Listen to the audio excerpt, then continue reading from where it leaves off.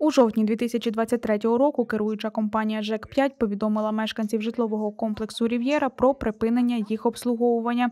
Тоді ж вони дізналися і про ймовірну відсутність опалення під час зимового сезону через борги за теплопостачання.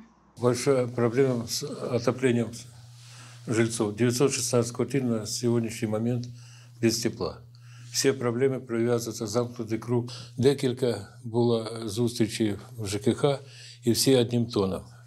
Миколаївська облтеплоенергія предлагала забрати з боргами котельні наші, собственность, і погасити борги. Мешканка будинку Наталя розповідає, проблеми з ЖЕК-5 розпочалися давно, проте відсутність опалення їх турбує зараз найбільше. Коли в квартирах е, 16, 17, 15, 13 градусів тепла.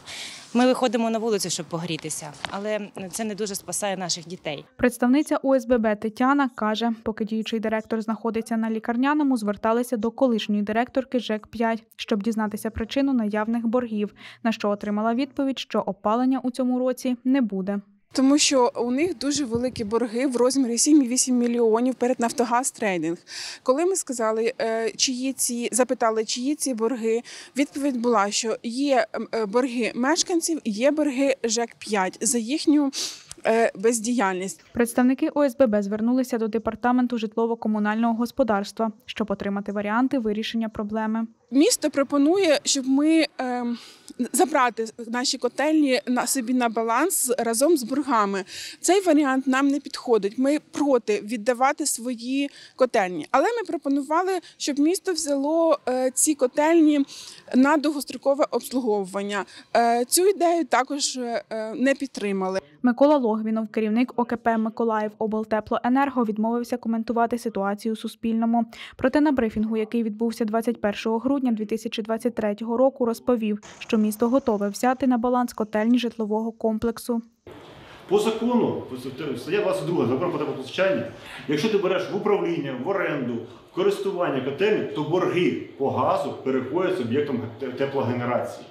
Тому е, ми готові, місто готове, ми це е, проговорювали, прийняти на баланс ці три котельні разом з боргами. І тоді будемо приводити ці котельні ну, е, до ладу. Люди проти цього не хочуть, бо це ну чому люди повинні. Ну, ситуація так склалася. Я щось там начудив, ви повинні продати своє майно за счет моєго бору. Ну це ж так не виходить. Тим більше це законне наше. Володимир Ніколайчук, начальник управління сталого розвитку міста, розповідає: наразі є два варіанти для мешканців будинку, втім, все залежить від їх позиції. Борг накопичився за декілька років. Це ну складові цього боргу. Це і не виплачена державою на сьогодні різниця в тарифах. В тарифах на теплопостачання, і частина боргу це від споживачів безпосередньо фізичних і юридичних осіб. Частина боргу, яку накопичила і компанія, яка обслуговувала ці будинки, це ТОВ ЖЕК-5. Окрім варіанту передачі котелень на баланс міста, є й інший, розповідає Ніколайчук.